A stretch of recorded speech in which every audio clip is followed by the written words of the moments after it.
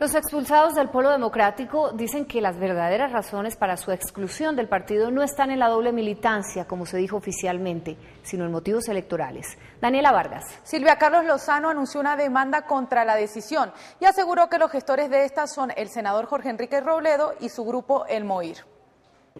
Por al parecer no ser tajante en la condena de la lucha armada de las FARC, el Partido Comunista habría sido expulsado del Polo Democrático Alternativo, aunque sus directivas han negado esta versión y en cambio dicen que se debe a que quienes apoyan el movimiento Marcha Patriótica han incurrido en doble militancia, hay sectores que afirman que el Polo no quiere volver a ser acusado de convivencia con la guerrilla. Esos son ya dos temas que la gente se inventa eh, para estigmatizar y nosotros hemos tenido una máxima eh, del maestro Carlos Gaviria que llevamos muy cercana en el corazón, sin sectarismos, pero sin ambigüedades. Otros afirman que el temor del polo tiene que ver con el espacio político que ha ganado el movimiento Marcha Patriótica. Lo que quieren es sacar no solamente al Partido Comunista, sino a la izquierda para poder convertir el polo democrático alternativo en una maquinaria de avales y de monopolio de candidaturas por parte de un pequeño grupo. Los miembros del Partido Comunista también dicen que la decisión tomada por el Comité Ejecutivo del partido no es legítima, porque le corresponde a la Dirección Nacional. Estamos apoyando el esfuerzo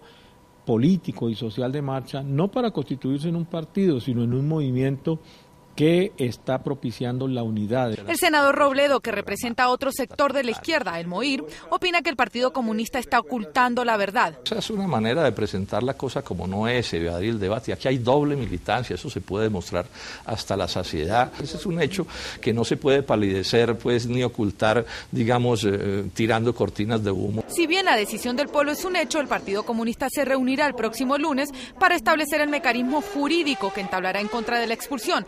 Sin embargo, internamente hay quienes coinciden en afirmar que si se le concediera la razón y pudieran volver al polo, dicho escenario ya no sería considerado. La izquierda de nuevo se divide.